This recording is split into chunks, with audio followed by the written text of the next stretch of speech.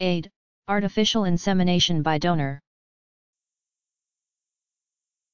AID, artificial insemination by donor a procedure in which a fine catheter, tube, is inserted through the cervix, the natural opening of the uterus, into the uterus, the womb, to deposit a sperm sample from a donor other than the woman's mate directly into the uterus.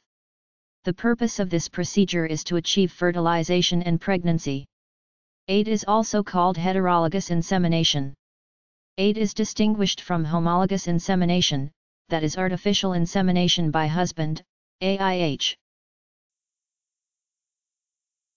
A, I, D, A, R, T, I, F, I, C, I, A, L I, N, S, E, M, I, N, A, T, I, O, N B, Y D, O, N, O, R.